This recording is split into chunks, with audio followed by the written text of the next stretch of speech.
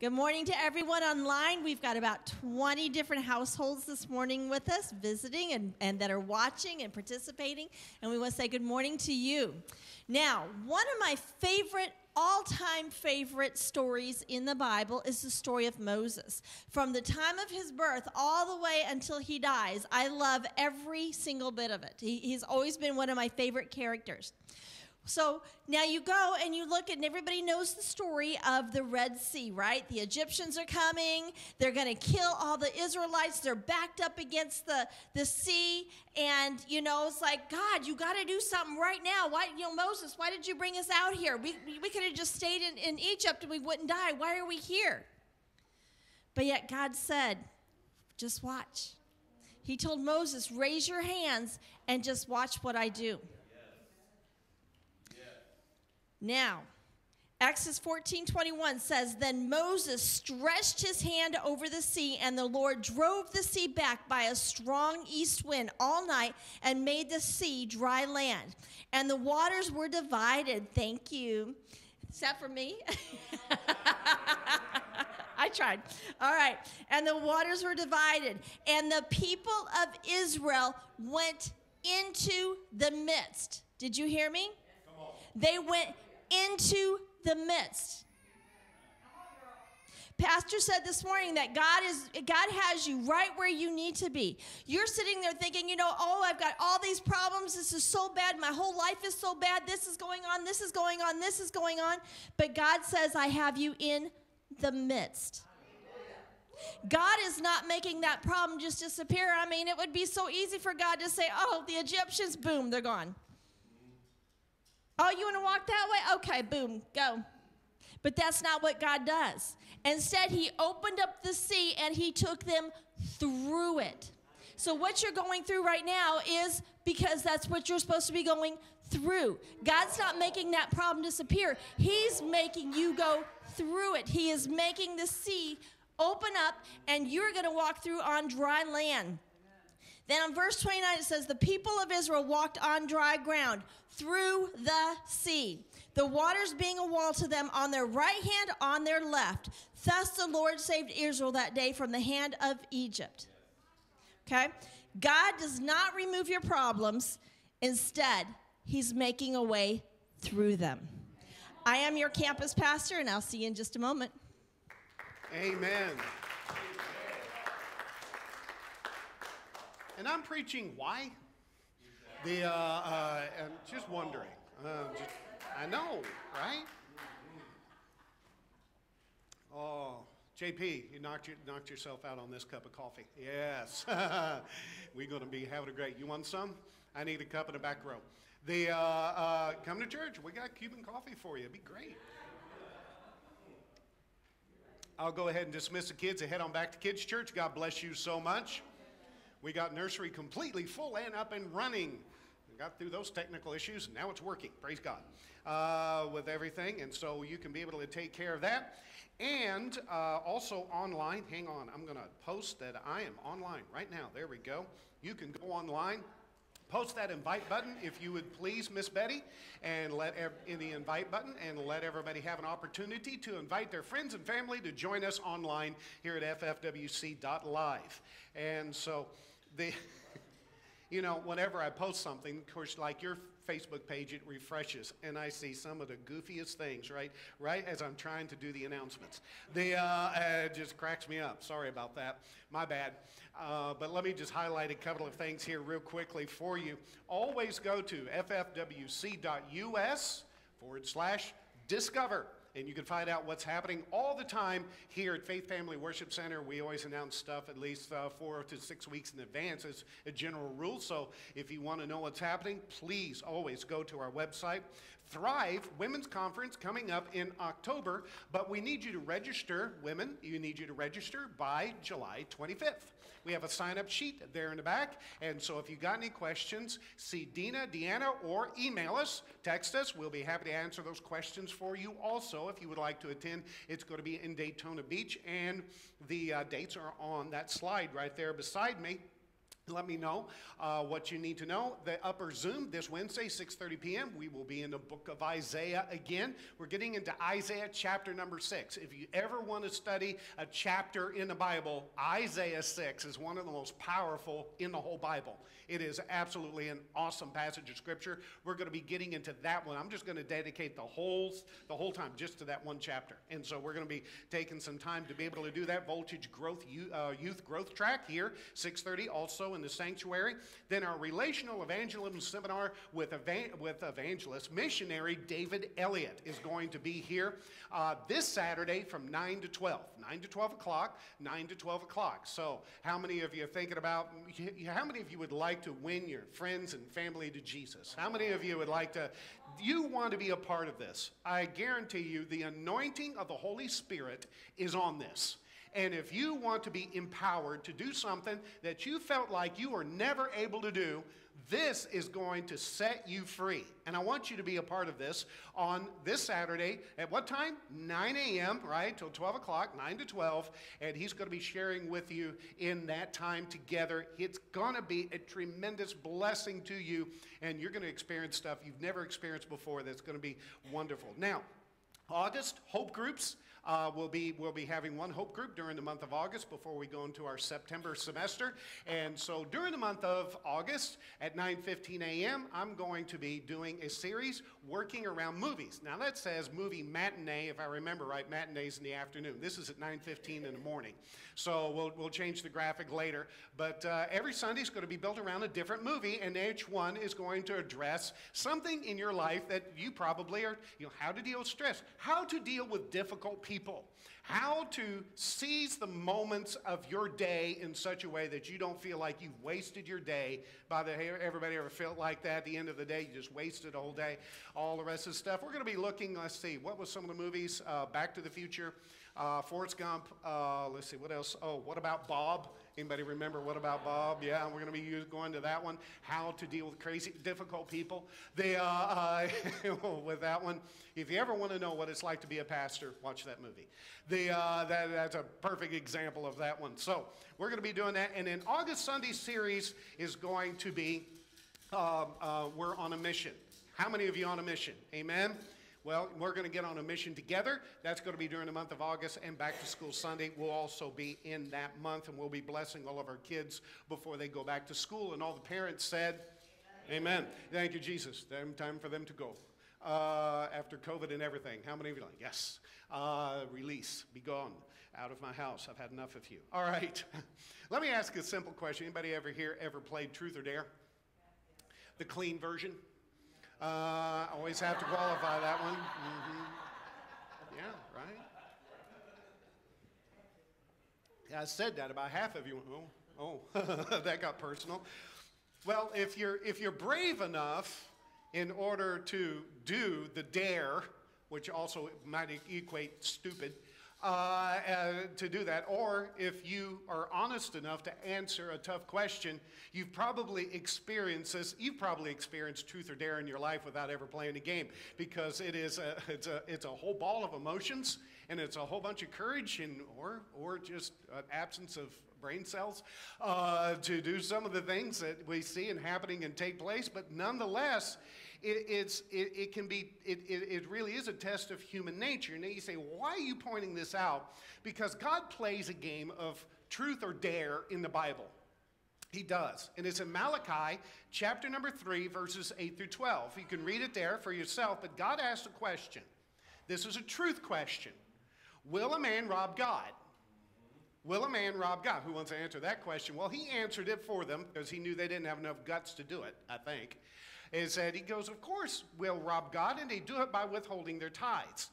Then that's followed up with a dare. It's followed up with a dare directly thereafter. He says, Bring your full tithes into the storehouse and test me in this, says the Lord. Now, that word test, if we were to take it and put it into 21st century English, would be double dog dare you. That's what that means.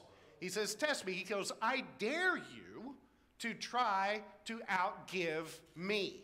I dare you to see if I will not take care of you, if I will not bless you. It's the only time in the Bible we ever see anything like this that God plays truth or dare with us. Now, the truth is, we are truly robbing God if we don't give, if we don't give our tithe, and we're cursing our own finances. How many of you know that to be true? Say amen. amen. Good. Now, the, uh, we put an ambiance mic in here. I hope that picked up every amen for everybody to be able to hear online. Uh, but if you're near that camera, don't whisper. The, uh, uh I'm just, just saying, uh, you've been warned. So the thing is, is, is that we, we know that we live under 90% blessed or 100% cursed. Mm-hmm. When we tithe the tenth, we bless the rest. And it's the first fruits because we put God first in our lives. That's the dare. Will you put me first in your life? If you will, watch me go to work. That's what God says. And I've been saying this for years, and people have been coming back to me for years saying, You're right. It does work. God blesses those who put Him first in their life, in every area of your life, not just in the finances. Truth is, we put, God's fir- put God first, we're under His blessing. Truth is, God says, if you will try, you will notice. That's what Malachi says. If you try, you will notice it. You will go, God did that. Because God loves to show off. He does. He loves to bless you. How many of you just love blessing your kids? Just give them something out of the middle of nowhere. Here you go. And they just look at you with a big grin on, thank you. And they love you and hug your neck. God loves to do the same thing. And so, if we give him the opportunity by being in his presence, by putting him first in our life, we will see his blessings in our life. Are you daring enough to take the dare to bring the tithe to God and let him bless you? In fact, are you brave enough to give the tithes and know that God will keep Satan from destroying from what you have? Amen?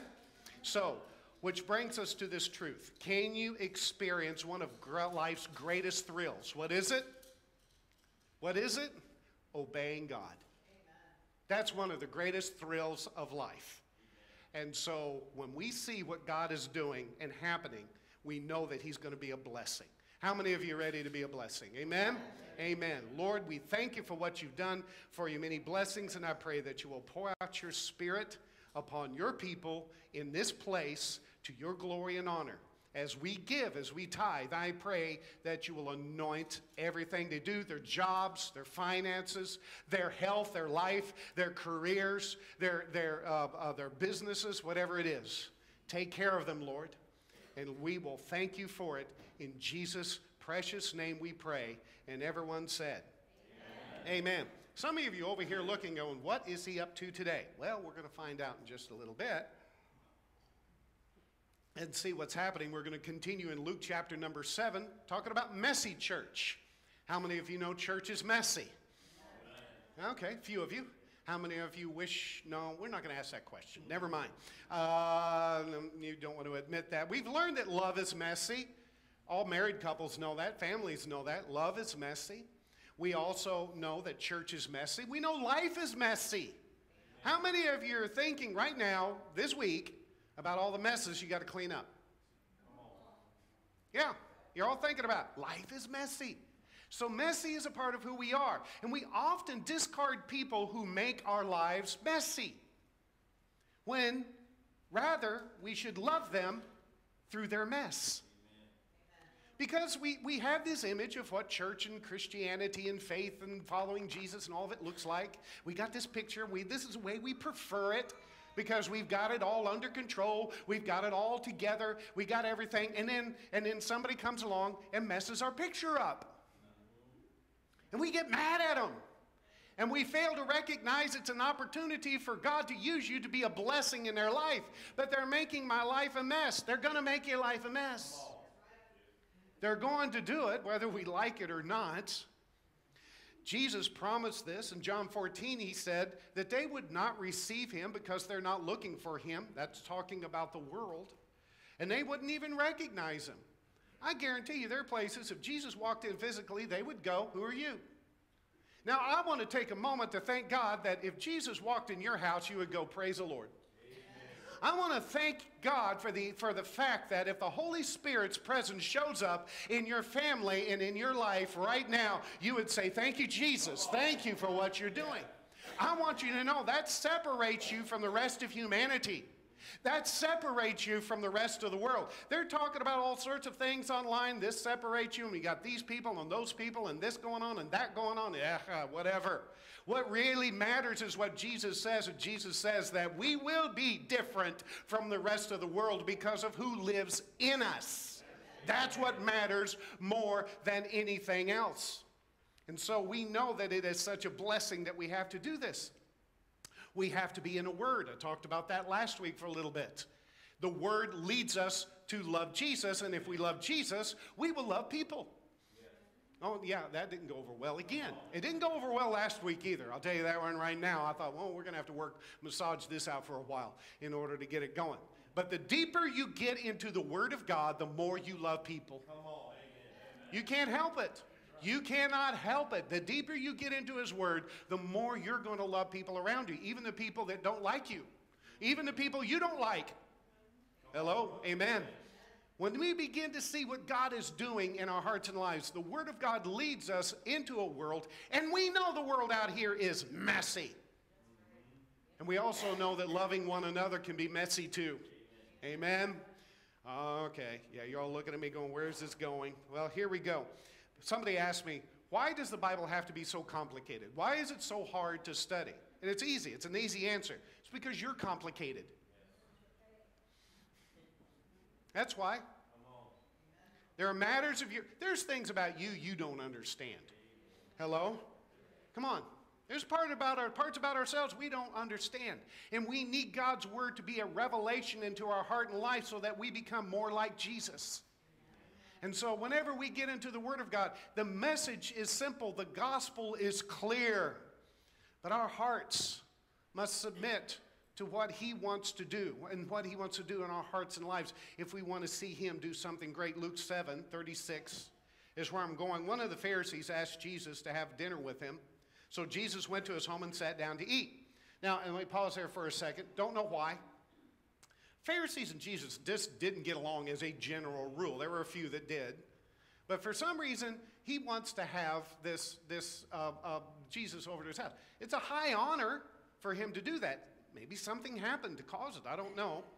When a certain immoral woman from that city heard he was eating there, she brought a beautiful alabaster jar filled with expensive perfume. She knelt behind him at his feet, weeping her tears fell on his feet. She wiped them off with her hair. She kept kissing his feet and putting perfume on them. When the Pharisee who had invited him saw this, he said to himself, If this man were a prophet, he would know what kind of woman is touching him.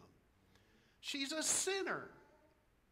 Jesus, then Jesus answered his thoughts. just, just want you to know, you don't get away with it. Simon, that's the Pharisee's name, he said to the Pharisee, I have something to say to you. Go ahead, teacher, Simon replied. Then Jesus told him this story. A man loaned money to two people 500 pieces of silver to one, 50 pieces of silver to the other. But neither of them could repay, so he kindly forgave them both, canceling their debt. Who do you suppose loved him more after that? Simon answered, I suppose the one who had to cancel the larger debt. That's right, Jesus said. Then he turned to the woman and said to Simon, Look at this woman kneeling here. Oh, now it's going to get real. When I entered your home, you didn't offer me water to wash the dust from my feet, but she has washed them with her tears and wiped them with her hair. You didn't greet me with a kiss, but from the time I first came in, she has not stopped kissing my feet. You neglected the courtesy of olive oil to anoint my head, but she has anointed my feet with rare perfume. I tell you, her sins, and they are many, again, you don't get away with anything. They have been forgiven. So she has shown me much love, but a person who is forgiven little only shows a little love. So, in case you don't get this, the woman is the one who's been forgiven 500 pieces of silver, and the Pharisee is the one that's 50 pieces of silver. Okay. Then Jesus said to the woman, Your sins are forgiven. And men at the table said among themselves, Who is this man that he goes around forgiving sins? And Jesus said to the woman, Your faith has saved you. Go in peace. Now, I want to do is lead you through a process that Jesus did with. He did this with uh, Peter when he reinstated him. He did this with doubting Thomas. He did this with the woman at the well. He did this with the woman caught in adultery, he, the demon possessed boy, and the disciples who couldn't deliver him. I see this over and over and over and over again. Jesus does this. I want to show this to you here today. What did Jesus do? Well, he asked a question What's the big picture here? He's looking at the whole picture. He's looking at the whole thing. Jesus is not focused on a Pharisee. Jesus is not just focused on the woman who is worshiping him or the people sitting across the table or the opinion of the guy standing over there in the corner who's looking at him uh, in, a, in a very disrespectful and a judgmental way. He's not thinking about what his disciples are thinking, anything else. He's taking us all in. And Jesus, at the home of this prominent Pharisee, this religious leader, who is such a Pharisee that he, he does it to a fault. The Gospels show this to us again and again. The Pharisees are ones who take the law to an extreme all the time. And as we learn, they do it to a fault. Having Jesus in his home was an honor, but a local, most likely she was a prostitute, the way the wording is here. Very, very evil, evil woman. And that's what they called prostitutes in those days, the most evil women that they could think of. And, and somehow she got into the room uninvited. She got past the bouncer. She gets inside the party and she's in there. How she did, nobody noticed, is beyond me. And, and she anoints Jesus with expensive perfume. Then, weeping, uses her tears and hair to wash his feet. What does this mean? It means dinner's ruined. This is what this means at this point in time. Dinner is completely ruined at this point. Nobody wants to be in a room anymore. Everybody's looking for a window to jump out of. This is now turned into a mess. The Pharisee is sitting over there going, ah, and, and, people are sitting around looking at Jesus going, You're forgiving her of her sins. How can you do that? This has turned into chaos at this point. And according to the Pharisees, her presence in the room was a sin. Just that, that, made, that made them sinners. They were, they were there. Pharisees taught that if they taught that if you touch the, the, the end of the pinky of a woman, it was the same as having sexual relations with her. This is what they believed. They, they said that they believed that if they looked at a woman, just looked at her, it was a sin. So this woman's presence in a room is, according to them, is causing everybody to sin. And I know Jesus is sitting there like, oh, get a grip. But, uh, uh, and, and, and, and they're all in there, and they're obviously this overreaction, this judgmental attitude, ah, making a mess of everything. We don't know much about the woman, but apparently she was a famous sinner. And apparently she had some kind of encounter with Jesus to cause this to happen. She wasn't in there just because. She was in there for a reason, and her faith drove her to a place. What was the big picture? We have an uptight Pharisee on one side who's concerned about his religious beliefs, and a woman on the other side who's loving Jesus with all of her heart. If you were Jesus, what would you do? Both of these people had a purpose in mind. One, both wanted to be in his presence. One wanted his attention, the other wanted to give, give him their love. And the question you have to ask yourself today, even though for, for those of you online, is are you just trying to get his attention? Are you just trying to get Jesus' attention? Or are you in his presence to give him your love? Because I think a lot of people come to church, even coming online, are like, well, I'm going to be, I want to be in the presence of God today. I'm going to feel better about myself if I'm in his presence. And, you know, I'll let him know what's going on and then he can do something about it. I don't know if you've heard the message in the song and the worship, even in the word. Betty and I don't coordinate. I just let her do whatever she wants. The, uh, and I find that's a whole lot better. Um, how many, every, every husband in here went amen. Yeah, that's a lot better to do it that way. And, uh, uh, and, and, and, to do that, but did you hear the theme up here that God sees you through? He doesn't deliver you from? You see, through is messy, from is nice, neat, and clean and tidy. We like that. Eh, all right. How many clean freaks in here love that one? Yay, amen. Hallelujah. Two, not, I guess none in here. Oh, well. Uh, give me some thumbs up, some hearts online if that's you. Jesus cared about both of them. He cared about both of them, but it was going to get messy. And the question you have to answer is how are you going to love them? How are you going to love them? Recognizing that the Pharisee was offended, Jesus says, I've got something to say to you. Let me tell you something. If Jesus says, I got something to say to you, brace thyself.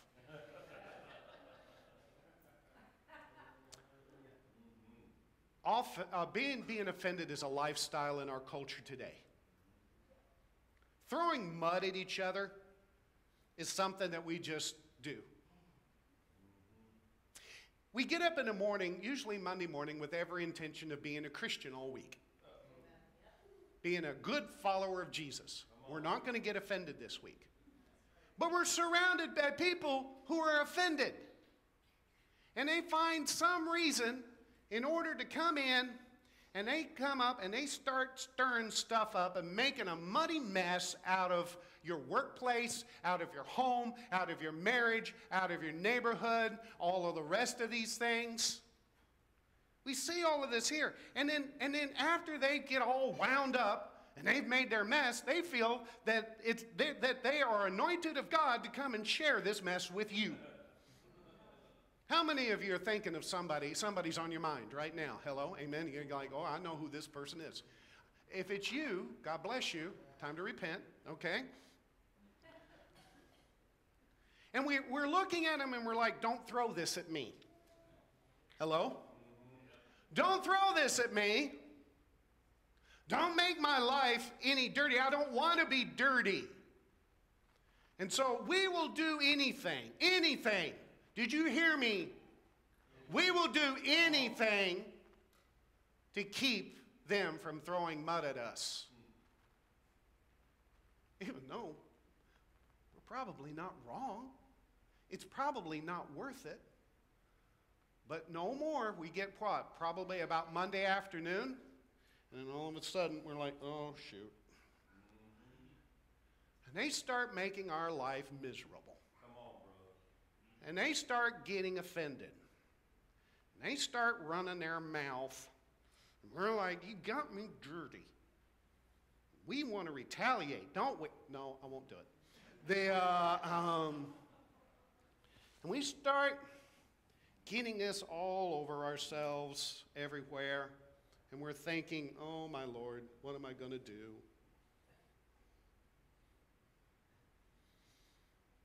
We get offended.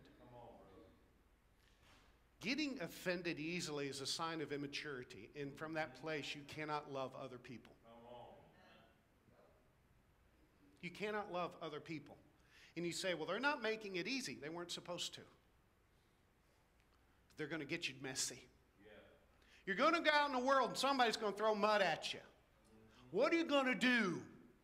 How are you going to respond to it says everything about your faith in Jesus Christ. It represents who you are before a world that needs to see Jesus more than they need to see your retaliation and your revenge. Jesus refused to pick up the Pharisees' offense. In fact, he refused to be offended. When someone offends you, you've got to choose. You got to choose. Oh, I got a big enough towel. You've got to choose not to be offended. It does not come automatically.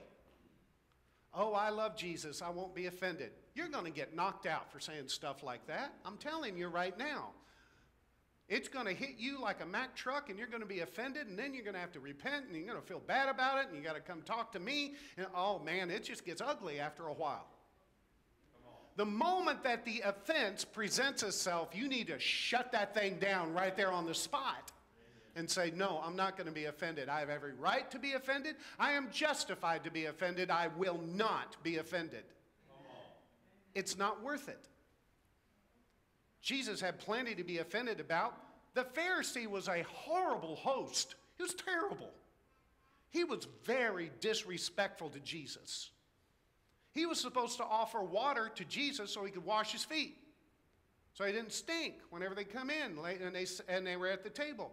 He was supposed to welcome him with a kiss, which was a symbol of welcoming him into his house and accepting him as a, as a friend of the family, as a friend of the house with hospitality. He didn't do that. He was supposed to offer him olive oil so Jesus could prepare himself for dinner, and he used it to slick their hair back and, and, and freshen themselves up with. And he didn't do any of those things.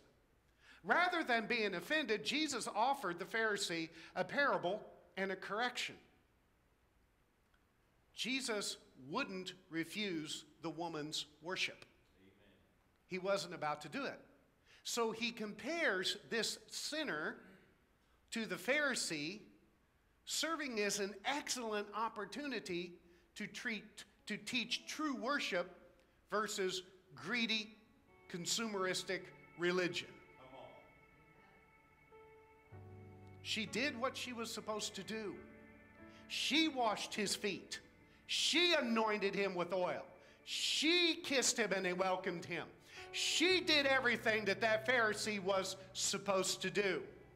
And in the process of doing that, her hair's getting messed up. She's got perfume all over herself. She's kissing dirty, nasty feet that have been walking on a road that God only knows what Jesus had stepped in by the time he got there.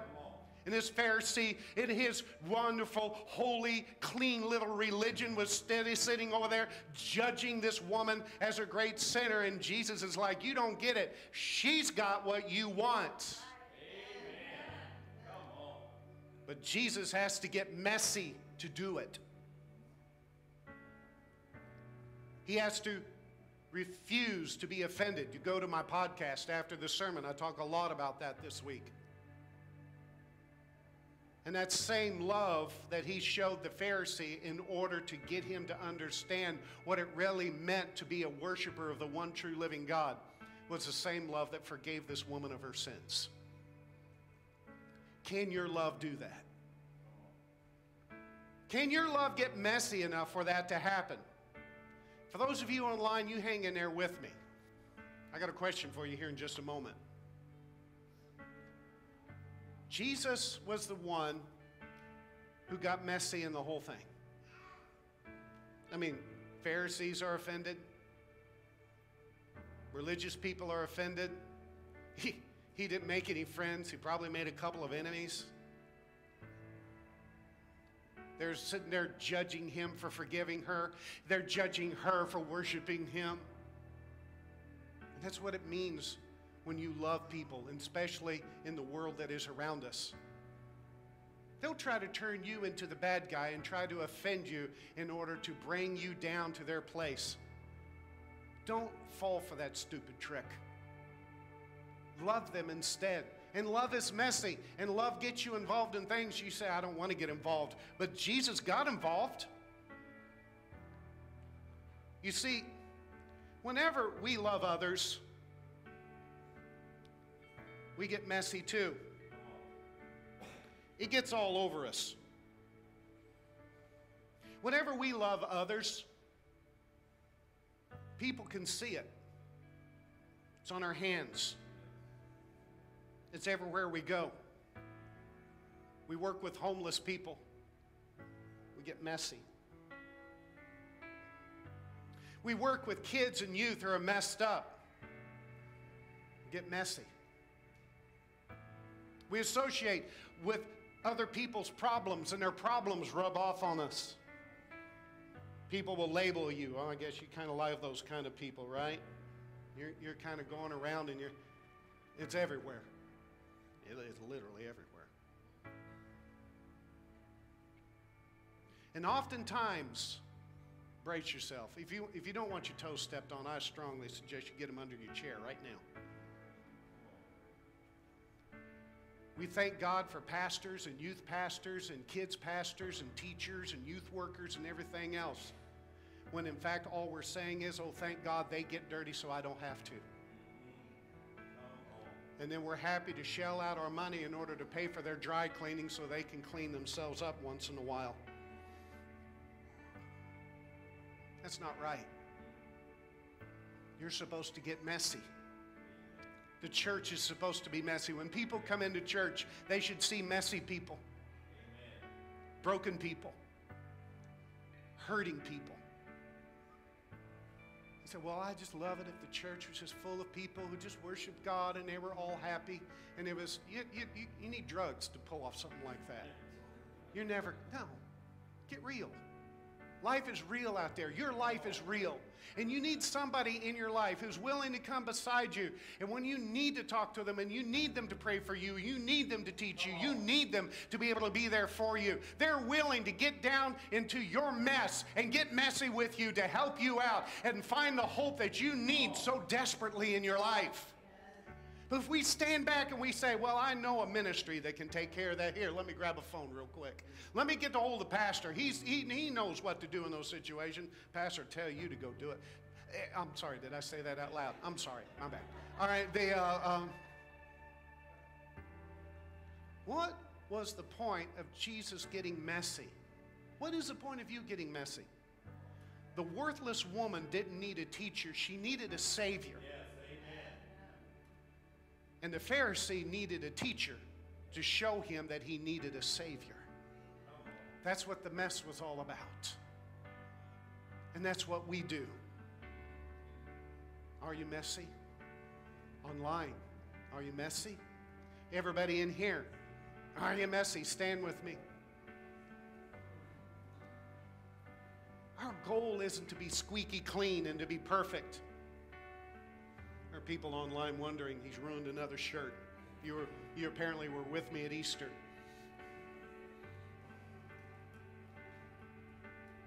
When people see you, do they see this wonderful, perfect Christian? Oh, yes, thank you, Jesus. We, oh, I've seen those before. That drives me crazy, I'll be honest with you. I can't take that. That's not good. When I see somebody whose heart is broken and their sacrifice is great and their hands are dirty with the mess that people need that they have in their lives as they're scraping off the junk and the hate and the racism and the hurt and the healing and the pain and the depression and all of it that comes in with us all of the time. Our goal is to love others and to prove it with our compassion, to prove it with our prayers, to prove it with our blood, with our sweat and our tears. To hug people that are not huggable. To talk to people that don't deserve a conversation. We've got to back up and say, you know what? We got to change.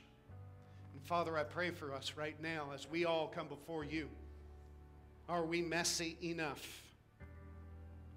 Are we messy enough?